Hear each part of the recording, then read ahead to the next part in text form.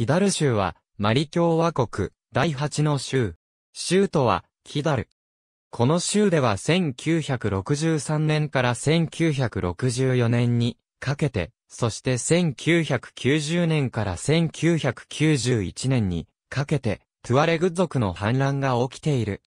1991年1月6日のタマンラセットでの合意に基づいて、1991年8月8日、キダル州を設立する、旨の布告がなされた。2012年4月6日に、マリ反政府勢力アザワド解放民族運動が一方的に独立宣言したアザワドの一部分を構成していたが、現在、アザワドは事実上崩壊しており、イスラム軍事組織アンサルディーンの支配下にある。キダル州は、トンブクト州の東に隣接し、ガオ州の北に隣接している。東では、ニジェールと、北では、アルジェリアと国境を接している。気候は、砂漠気候であり、日中の気温は、摂氏45度に達する。州内の多くの領域が、イフォガス産地となっている。州内の主要な都市としてキダルのほか、テッサリとアゲルホック、ティンザワテーヌが挙げられる。その多くは、トゥアレグ族と損害族である。キダル州では、ベルベル人の遊牧的民族性を持ったトゥアレグ、文化が一般的である。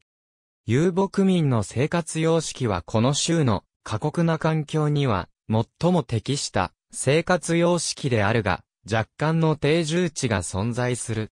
筆記にはティフィナグ文字が用いられる。キダル州の主要な産業は牧畜、手工業及び商業である。商業的農業についてはいくつかの地域で行われていることがわかる。この州には舗装された道路も水運に利用できる河川もなく孤立している。毎年、トゥアレグ族のデザートミュージックフェスティバルがエスークで開かれている。キダル州の県キダル州は4つの県に分かれている。4つの県はさらに11のコミューンに分けられる。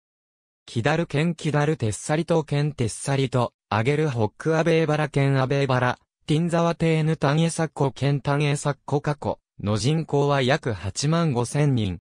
マリ国内では2013年から国際連合マリ多元統合安定化ミッションが活動しており、州内のアゲルホックには駐屯地が設営されている。2019年1月20日、駐屯地は武装勢力の襲撃を受けチャド人の隊員10人が死亡、少なくとも25人が負傷する被害を出した。